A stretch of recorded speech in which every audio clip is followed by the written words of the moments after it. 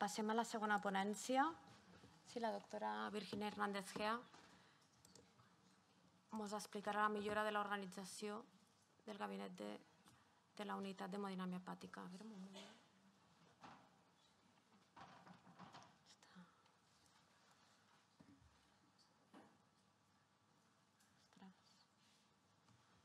Bueno, mientras se carga yo empiezo dando las gracias porque creo que este es un proyecto que, que, ha sido muy largo, que nos pilló justo cuando habíamos empezado el COVID por medio y ha sido muy difícil llevar, llevarlo eh, a cabo. Y, bueno, quiero agradecer a Ana la fantástica actitud y el, y el hacer que hayamos disfrutado mucho eh, con este proyecto, eh, a ella y a todo el equipo, pero a ella fundamentalmente por todas las horas dedicadas y, y por siempre siempre intentar eh,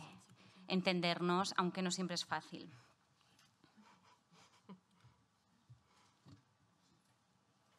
Yo creo que también le hemos enseñado algo de medicina.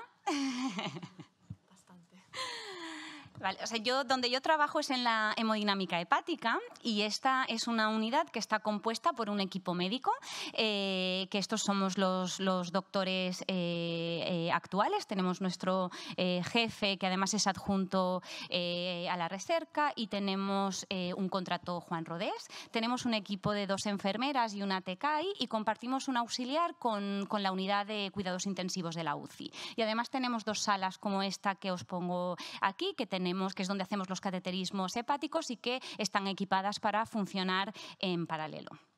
¿Qué es lo que nosotros hacemos? Pues hacemos todo lo que es el cateterismo hepático. Fundamentalmente estos son las medidas del gradiente de presión portal, las biopsias de pacientes ambulatorios o ingresados, eh, que muchas de estas biopsias pues, no se pueden hacer por el abordaje percutáneo, eh, pues porque tienen plaquetas bajas o porque tienen ascitis y se tienen que hacer por este abordaje. Colocamos los tips y luego hacemos la revisión eh, del tips, que esto es un, un stent que ponemos para comunicar la vena porta con las venas suprahepáticas y descomprimir la presión de los pacientes eh, con enfermedades hepáticas y con problemas de hipertensión portal. Esto es la actividad que hacemos de cateterismo, pero además los médicos de la unidad pues hacemos otras cosas, porque tenemos consulta eh, externa y en estas consultas em, lo que nosotros evaluamos son a estos pacientes con hipertensión portal, bien por cirrosis o bien por otras enfermedades eh, vasculares. Tenemos la gran suerte de ser uno de los dos únicos centros de referencia europea que hay en Europa junto con Francia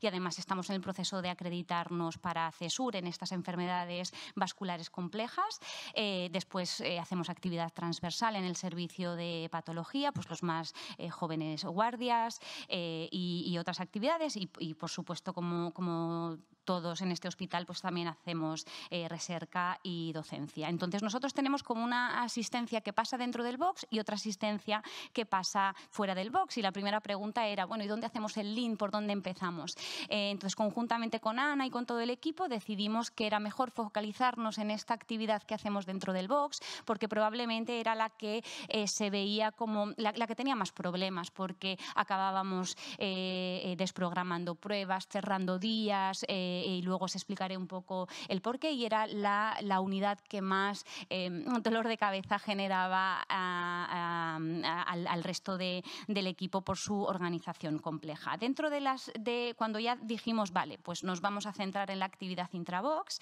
eh, estos son los, los procedimientos que hacemos y el que hacemos con más frecuencia es la biopsia transyugular. Entonces dijimos, vamos a,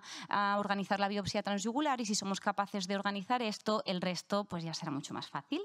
Entonces hicimos toda la metodología, nuestro eh, mapa de valor, junto con todo el equipo, identificamos todos los persona, todo el personal que interviene en el procedimiento, que a veces se nos olvida que los pacientes los tiene que programar una gestora que no está con nosotros en la unidad y que, y que a veces pues esto eh, ¿no? Mm, nos olvidamos de qué cosas le tenemos que decir para que el paciente que acabe viniendo y acabe viniendo en las condiciones que nosotros necesitamos para que haga para poder hacer la biopsia. Y bueno identificamos pues muchos problemas algunos de ellos de solución fácil. Eh, nos dimos cuenta de que había algunas cosas como muy obvias y que no habíamos sido capaces de ver hasta que hicimos el lean y era pero como esto no lo hemos solucionado antes y había otras pues eh, eh, otras problemáticas pues bastante más complejas de solucionar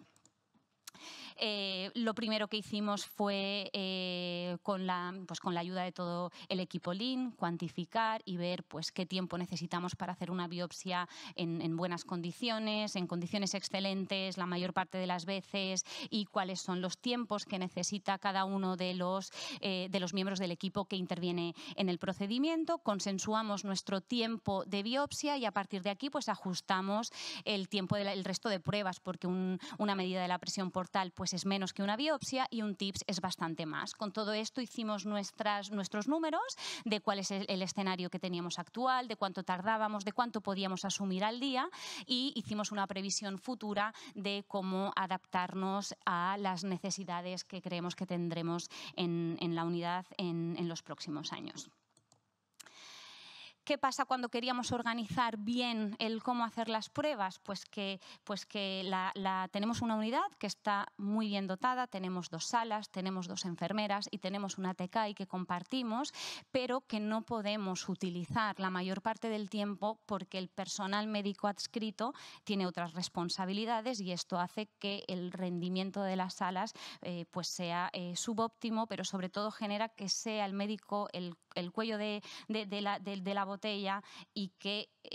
la actividad clínica del médico pues impacte en el resto de los personales de la unidad, con lo cual nos dimos cuenta que el escenario más repetido de nuestra unidad era este, en el que teníamos muchos días que por determinadas circunstancias no podíamos em, eh, cubrir los dos boxes para, para trabajar en, en paralelo, pero que esto no se tenía en cuenta a la hora de la programación y que nos dábamos cuenta que había días que no habíamos avisado de que yo iba a estar en la consulta y que no podía hacer la prueba o de que eh, cerrábamos porque eh, no, se podía asumir y todo esto eh, era lo que generaba la gran problemática en el resto de, de personal que interviene y que había una falta de comunicación pues muy evidente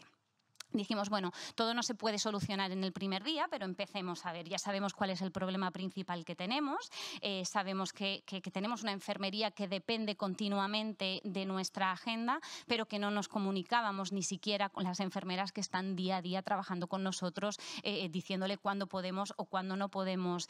asumir los procedimientos y sobre todo a la hora de la programación, cuándo se puede y cuándo no se puede programar los dos boxes a full. Entonces dijimos, esto es complicado, vamos a empezar, si lo que realmente impacta es la actividad de fuera, vamos a organizar esta actividad de fuera, vamos a hacer partícipe a toda la unidad de qué es las otras cosas que hay que tener en cuenta antes de programar los procedimientos en hemodinámica y entonces intentamos organizar la actividad extra box que nosotros decimos. ¿Cuáles son las medidas que adoptamos? Para organizar eh, todo esto? Pues lo primero es que parece como muy evidente eh, el reunirse con el equipo cada día y discutir y decir los procedimientos que tenemos, porque algo inherente a nuestra unidad es eh, que hay muchas de estas pruebas que son urgentes. Tenemos una UCI hepática donde se ingresan mm, enfermos de todos los sitios que necesitan una biopsia urgente y que hay que dar esta biopsia en las, pues en las primeras 24 horas para hacer diagnóstico y tratamiento, que muchas de estas veces pues el médico que está de guardia te llama y que tú vienes por la mañana sabiendo que tienes esa biopsia urgente que tu compañero te dijo ayer, pero si no lo transmites a nadie y cuando empezamos a hacer las pruebas dices, no, no, no, porque has llamado a este paciente, si es que yo quiero llamar al de la UCI, que es una biopsia urgente y no le habías comunicado a nadie, ¿no? Entonces yo creo que esta ha sido una gran medida. Todos los días tenemos una reunión a primera hora con enfermería, con TECAI, eh, con, con los médicos, donde se comenta pues, la actividad que hay para el día, la actividad que hay urgente de la que, de la que sabemos y además pues repasamos un poco los enfermos que hay ingresados en, hepatología y que probablemente necesiten, eh, necesiten también una intervención. Eh, hacemos un registro de toda aquella actividad que tenemos, eh, que tenemos asistencial extra, porque lo que intentamos es que haya uno de los, del personal médico que esté más a cargo del cateterismo y la otra persona que vehiculice todas estas preguntas de los enfermos que hay ingresados y toda la, la actividad médica extra. Eh, tenemos un email genérico para vehiculizar las preguntas de los pacientes, porque como decía al principio, pues el ser una unidad de referencia de enfermedades raras genera pues muchas, eh, muchas preguntas de médicos de otros centros, pero también de los propios pacientes y esto era como un continuo que a veces te, te, entorpecía la prueba porque no podías empezar la prueba porque estabas hablando con el médico mm, de Mataró eh, por el paciente que te quería trasladar. Entonces ahora vehiculizamos quién hace estas llamadas y quién organiza el, email para hablar con los pacientes.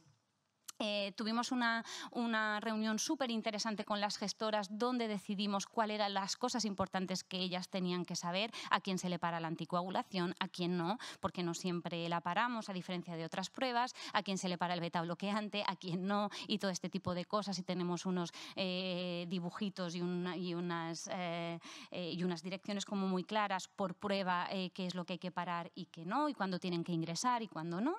y otra cosa que parecía muy obvia es saber quién es el médico a cargo de las exploraciones cada día ¿no? y a quién se tienen que dirigir y con quién comentar esta biopsia eh, urgente que necesitan en hematología. ¿no? Son como cosas eh, bastante obvias una vez que las ves, pero que realmente no lo veíamos necesario eh, antes del LIN. Todo esto ha hecho que aprendamos mucho, que hayamos coexionado muchísimo el grupo, que hayamos aprendido a trabajar en trabajo, eh, a trabajar en equipo muchísimo mejor, que hayamos identificado y que esto ha quedado como mucho eh, impregnado en, todo el equipo, la identificación de mudas y cómo podemos hacer esto y cómo podemos mejorar lo otro. Eh, hemos organizado mucho nuestra, nuestra asistencia y siempre tenemos pues un responsable de quién es el responsable de la hemodinámica hoy, quién es el responsable del resto de cosas eh, también hoy. Em, y bueno, esto no se acaba, no se acaba nunca, lo acabamos de ver y hay muchos más pasos y hay muchas más medidas que nos gustaría poder eh, llevar a cabo y, poder organizarnos. Eh, pues esta,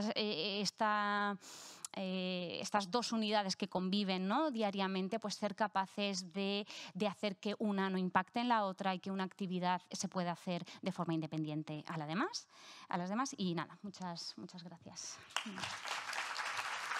gracias, Virginia. Muchas gracias.